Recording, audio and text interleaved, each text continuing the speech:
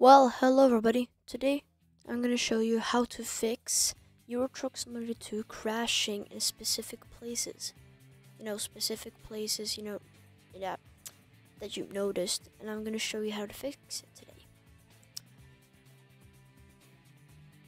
So the easiest one and the most common one is um you got to go to Steam and click Euro Truck Simulator 2 and then go to settings manage oh sorry. Do not click on manage click on properties.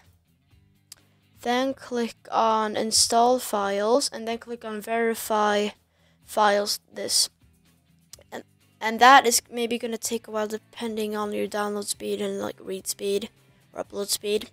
But uh, when it's done you should be uh, maybe some mods that you have are going to be uh, disabled because maybe they created um, bad integrity. So yeah, be ready for that. Or if you're using free DLCs, um, it's gonna um, remove be removed. You can just install it again. But if it actually, if your free DLCs delete, it's not that one's fault. I promise. But it can be if it's corrupt. But it it will fix after if you do not have any mods. But if you have mods, there can be still crash, and I'm gonna show you how. So I'm just going to launch the game and I'm going to show you in the mod manager. So once you're in, you gotta go to your mods. And if you have a lot of mods like me, it's gonna take up longer to load, but just wait. There, look, so you can see I have a 208 mods, but my game works. Um, actually, um, let's say you're um entering if you doing a job and you're getting crashes because of um um you know um if you um open the start menu.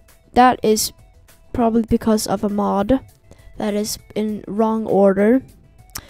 And um you maybe need a, a um connection between two other two two mods to get the conflicts gone and you probably go watch a map combo video, my tip, and then just find and just put the mod that you have in that same order. Maybe, let's say the newest one you've added, and then I put in the road connection too, and it's probably gonna get fixed. And one reason could also be outdated mods, like uh, if you have an outdated sound fixes pack that I had, and or outdated realistic physics mod it can be any outdated mod. It can be a um, company. It can be real. You can be company names. It could be like trailers. It could be signs, gas. You know, all those stuff. It can be a lot, not just map mods. So mods is second reason your game can crash, and you forgot to add a road connection. That is the second way. And once you actually figured out, it's probably gonna stop crashing. And one tip actually is to um, to do that is to create a new um, um, profile and then add the mods exactly the same that you have and add like the different categories and diff be gentle use like at first enter the map mods then like it's different categories at one at a time.